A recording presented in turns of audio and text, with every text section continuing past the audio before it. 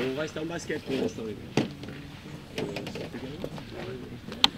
On a mis volontairement les 10 ballons Comme d'habitude, on fait, on fait tout ce qu'il faut pour qu'il se sente bien dans notre, dans notre groupe.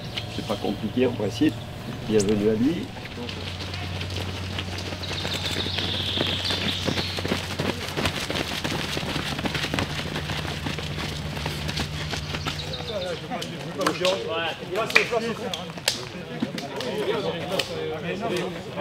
Ça me fait plaisir, ça fait, ça fait un moment que c'était dans les tuyaux et je suis content que ça se soit concrétisé.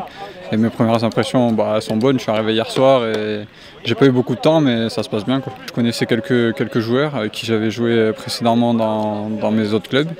Et donc euh, ça se fait tout doucement. L'objectif ce sera évidemment bah, l'objectif collectif, à savoir le, le maintien en Ligue 1. Voilà. Allez